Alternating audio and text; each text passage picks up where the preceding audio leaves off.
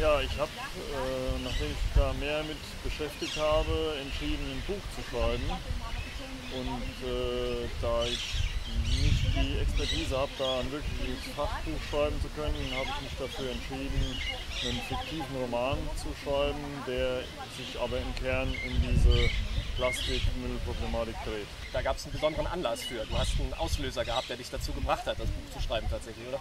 Ja, ich bin als äh, Ingenieur im Anlagenbau relativ viel international unterwegs gewesen und speziell in Asien äh, ist mir dann verstärkt aufgefallen, wie viel Müll da an den Stränden liegt, wie viel Müll da angeschwemmt wird, wie die Leute da mit dem Müll umgehen. Zum Teil wird der einfach wahllos am Strand ausgeschüttelt oder verbrannt und die Überreste ins Meer geschmissen und da ist also unheimlich viel Aufklärung noch nötig und ähm, ja, das hat so den, den Auslöser gegeben, äh, um zu entscheiden, was zu machen. Einfach.